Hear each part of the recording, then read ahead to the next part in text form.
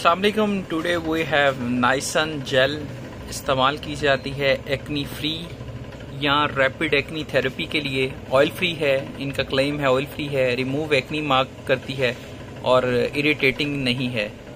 तो ये माइल्ड और मॉडरेट यानी कि नॉर्मल या काफ़ी शदीद किस्म की एक्नी के अंदर इसका इस्तेमाल है. हंड्रेड परसेंट ऑयल फ्री ये क्लेम करते हैं.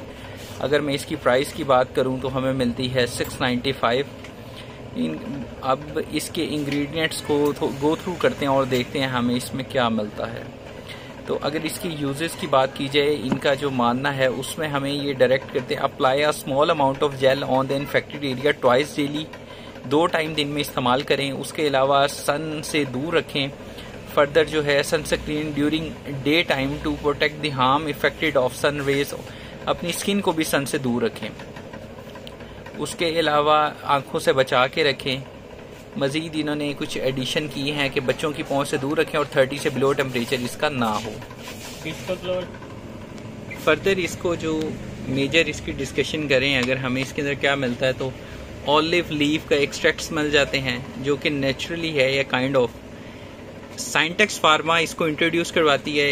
इनका क्लेम ये है कि ये जो जेल है ये रिड्यूस करता है इन्फ्लामेशन को स्वेलिंग को एज वेल एज इनके कहने के मुताबिक ये जेल जो है स्किन के अंदर से इन्फ्लामेटरी इफेक्ट्स को ख़त्म करती है मतलब कि स्वेलिंग को ख़त्म करती है, मज़ीद ये रेडनेस को ख़त्म करती है, उसको अलावा एक्नी को ख़त्म करने में जो है काफ़ी ज़्यादा इफ़ेक्टिव रिज़ल्ट रखती है।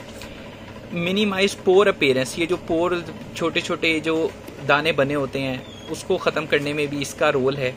स्किन को स्मूथ करती है और मॉइस्चराइजिंग करती, इसका जो है वो सेकंड बेनिफिट है।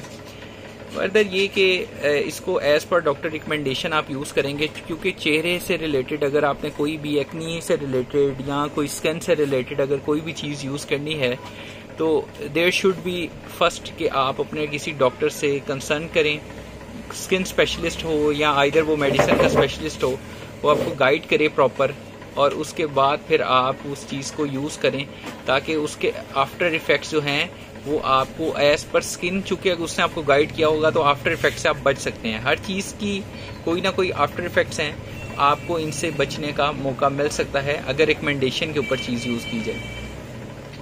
फर्दर और भी काफ़ी ज़्यादा प्रोडक्ट्स हैं जो हमें मिल जाती हैं, लेकिन यही कि अब अगर इसके प्रिकॉशनरी देखा जाए कि इसके आफ्टर इफेक्ट्स क्या होंगे तो पेन यानी कि इसको मज़ीद इस्तेमाल किया जाता है पेन को रिलीफ देने में मसल्स के क्रैम्प के लिए। इन्होंने काफ़ी ज़्यादा यूजेस लिखी हैं। सो ये यूजेस जो है, और ऑब्वियसली सबके लिए अप्लाई नहीं होंगे।